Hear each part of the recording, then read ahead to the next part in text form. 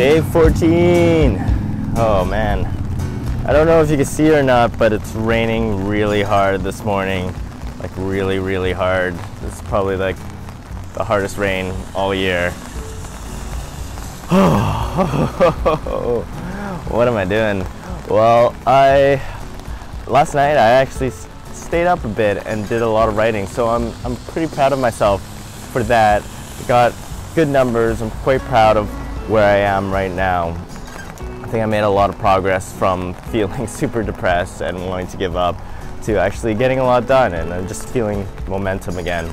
I'm gonna head back up. I'm gonna do maybe another hour of writing before I wake up the dog and the wife and the day actually gets started. It's around 6.30 at the moment. I'm outside. Uh, today is gonna be a fun one. After work, I'm gonna meet up with my buddy Richard. Richard is a longtime friend, and uh, we're just gonna go grab some beers.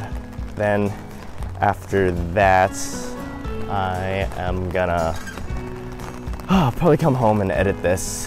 But I guess the point of this episode today is talking about discomfort.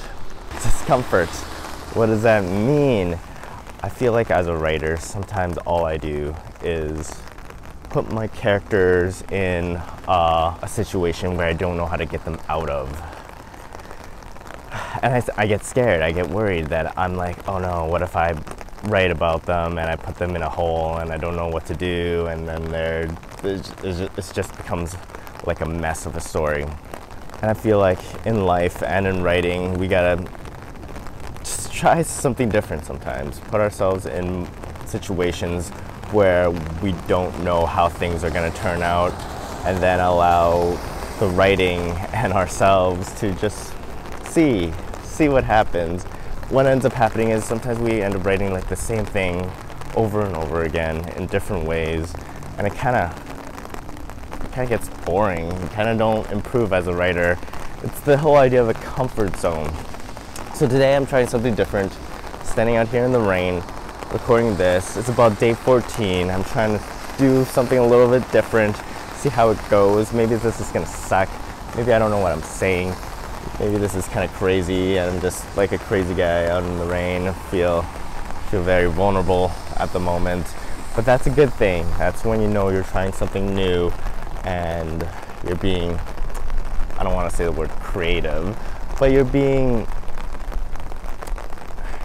like a word for exploring. I, I want to explore and try interesting new things. And that's sort of what I'm doing with my writing now. I'm trying something a little different, and it's the whole idea of hero's journey. That's kind of a, a story structure. I don't think I've, I've known it for so long, and I just think, eh, that's unoriginal. That, I'm not going to try that.